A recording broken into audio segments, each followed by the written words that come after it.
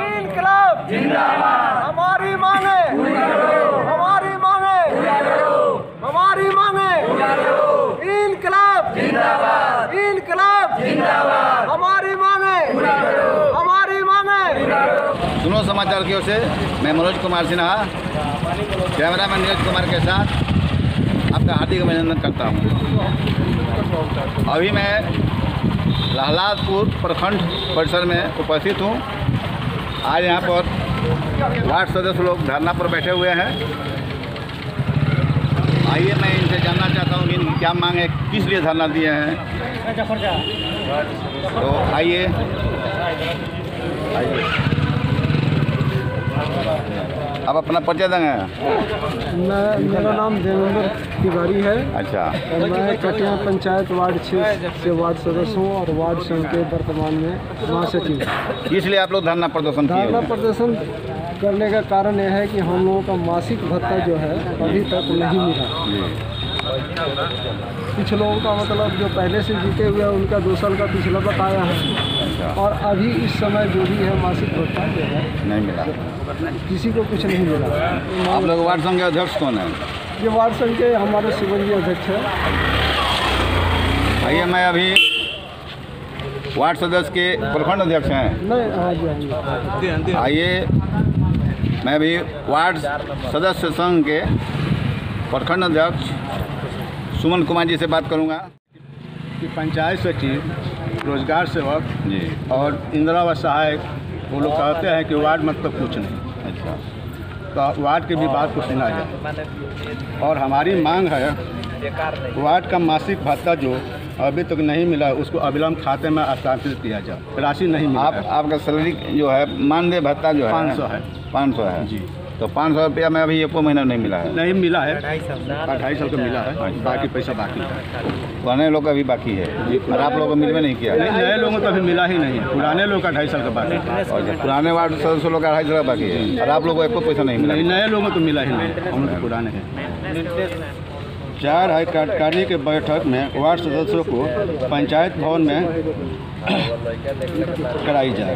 प्रधानमंत्री आवास योजना के तहत लाभुकों का अढ़ाई लाख किया जाए।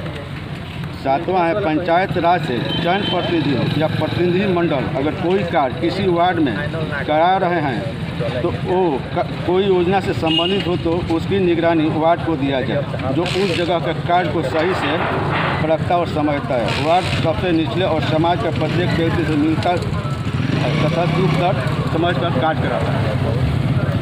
तो वार्ड सदस्य का क्या क्या कार्य है? वार्ड सदस्य का क्या कार्य है? मैंने खाली नल जल योजना है कि और क्या है? वार्ड सदस्य का बहुत कार्य है।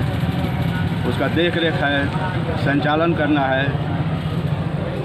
वार्ड सदस्य योजना को देता है। अच्छा। तो और उसी वार्ड आप लोगों को योजना की जानकारी नहीं दी जाती है। नहीं दी जाती है किसी से। पंचायत सचिव द्वारा नहीं दी जाती। तो योजना के बारे में आप लोग कैसे क्या करते हैं? तो कैसे आप लोग काम करते हैं? जब जानकारी आप लोगों को नहीं दी जाती है तो। हम लोग योजना जो देते हैं कि यहाँ काम होना चाहिए। उसके बाद कब योजना पारित होता है कब नहीं होता है वही लोग जानते हैं। आप लोगों को मालूम नहीं नहीं मालूम। तो फिर क्षेत्र में आपके वार्ड में कार्य कैसे होता है? कार्य मुखिया द्वारा होता है या बी द्वारा होता है। उसके आप अंग हैं ना अंग है तो फिर बताया जाएगा तब ना। हम लोग तो एस्टिमेट भी नहीं मालूम होता है कितने का कार्य जैसे आपका कार्य हो रहा है आपके वार्ड में। आपका कार्य हो रहा है तो आपको तो देख रहे हैं कि कार्य हो रहा है तो में कार्य हो- कर रहे कार्य हैं। हो रहा है तो लेकिन कोई बताए तो हमसे। अच्छा। एस्टिमेट भी नहीं बताया कितने का है। बोर्ड भी नहीं लगा। बोर्ड भी नहीं लगा है आज तक। और काम हो रहा है। काम हो रहा है। तीन साल से बाकी हम लोग सर मैडम ना अभी ट्रेनिंग हुआ और ना हम लोग का सर जो खा- खाता खुला बैंक में। सब आ रहे हैं दो दिन के अंदर आप लोग के पास नोटिस हम भेजेंगे खुद डीपीआरओ आएँगे वही सब इसका सर से बात हुआ है सर से बात हो गया है अभी तुरंत अपने किए थे फ़ोन तो हम आ रहे हैं उन सबको नोटिस हैं पुराने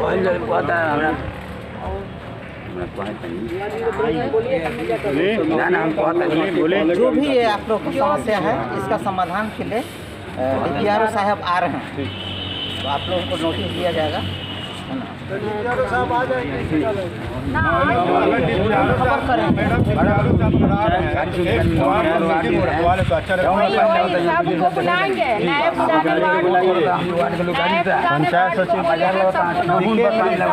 सबसे बड़ी बात है ना मैडम जो नल जल अभी चल रहा है सुचारू अभी मरम्मती के लिए अभी तो